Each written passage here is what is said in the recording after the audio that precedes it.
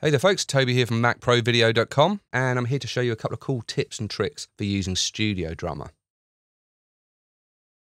So I'm here in the Grooves tab and I found this MIDI file I like, it's called 16th Hat Both. And if I just double click on this, you can see that it loads into the Groove player in the top right hand corner. And to audition this, I just hit play.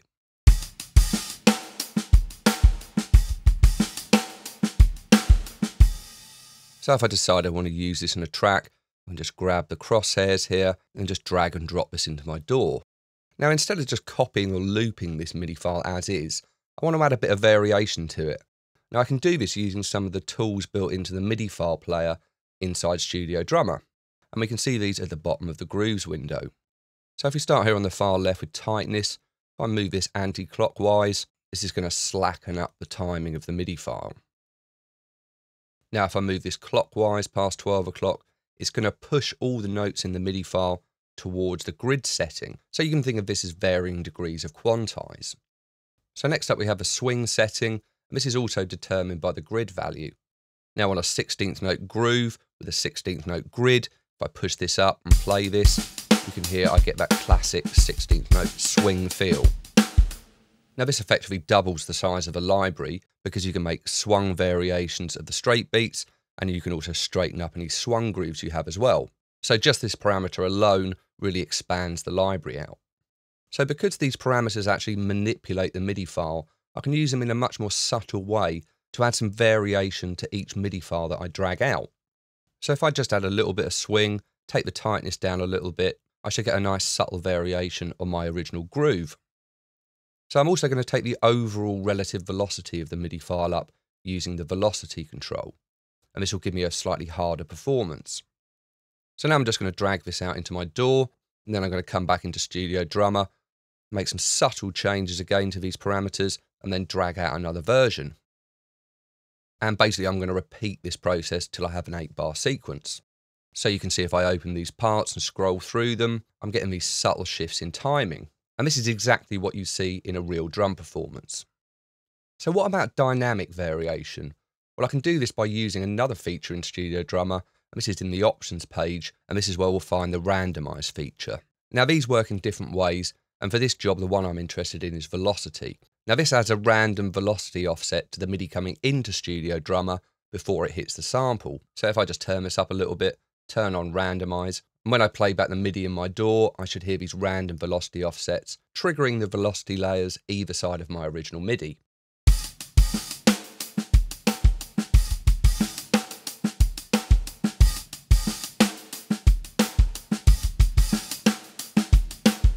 Now, the effects of these timing variations and these dynamic variations are very subtle, but they should be, and they go a long way to making your drums sound more organic. Now, you can vary these dynamic changes further by mapping this parameter to a MIDI hardware controller, and then you can automate this over time in your DAW. Now, so far, we've managed to create a load of variation in just one MIDI file, and we've done all of this just using the features of Studio Drummer, and we haven't even got into the DAW yet to do any extra MIDI editing. And when you think that Studio Drummer ships with 3,500 MIDI files, you can see the scope. Now, if 3,500 MIDI files isn't enough for you, you can try this out. So let's say I like the hats from this 16th hat both MIDI file, and the both means it's got open and close hi-hats. I can just load it and then drag it into my DAW. Then let's say I like the kick and snare from this 8th hat both ghost MIDI file inside Groove 1. And the ghost means it's got ghost notes on the snare drum. Okay, so I'm liking that, so I'm just going to drag that over to Logic as well. So now I can simply go into the hi-hat part that I like and delete the kick and snare. And then go into the kick and snare part and delete the hi-hats. And then I can just glue these bad boys together and what I get is a totally new groove.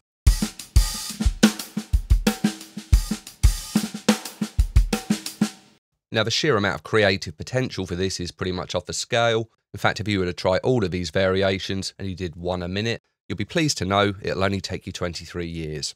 So you can't say that Native Instruments haven't given you enough choice on this one. Now, before I go, I just want to show you a really cool feature in Studio Drummer. And this has to do with the new bus architecture in Kontakt 5. Now, as well as getting a fully fledged mixer built into Studio Drummer, You also get a lot of flexibility when it comes to getting these mixer channels out of Kontakt. Now you can see I have my Kontakt mixer configured for eight stereo outputs. Now at the moment, all my mixer channels are being routed to the master output via the channel output section. And you'll find the master output up here in buses. And we can see the master output here. And this allows me to flip the stereo image and I can decrease the stereo width of the whole kit. And I can also process the entire kit using the built-in insert effects. Now because every mixer channel is routed to an internal bus inside the actual instrument, this is all thanks to the new bus architecture, it means I can now route any channel in the mixer to any output in Kontakt. And here you can see my eight stereo outputs. So I could send my overhead mono over to channels three and four in the Kontakt mixer. And here you can see this signal coming up. Now this gives me an extra level of creativity when it comes to mixing my drums because I can use the built-in insert effects in the Kontakt mixer. So here you can see I've added a flanger to my overhead mono. And because this is being routed into a separate channel in Kontakt, it also means I can route this into a separate channel in my DAW. And this expands the creative potential further as it means I can use third-party plugins to mix within my DAW, say like this patch and guitar rig. So if I wanted to mix entirely in Logic, I could initialize the mixer in Studio Drummer, set up a proper configuration for my Kontakt mixer, meaning I could pipe all of these separate mic channels straight into the mixer in Logic. And because these channels are now inside Logic, it now means that I can stem these tracks out as audio files. And this can be really useful if I'm taking my track to be mixed somewhere else. And you can do this in any DAW whose audio tracks can accept internal buses or auxiliary channels as inputs. And here we can see all those studio drummer channels as separate audio files. Now, the new MIDI file support and bus architecture are real game changers for Kontakt, and these are just a few of the features you'll find in Studio Drummer. I hope you've enjoyed this. My name's Toby. I'll see you later.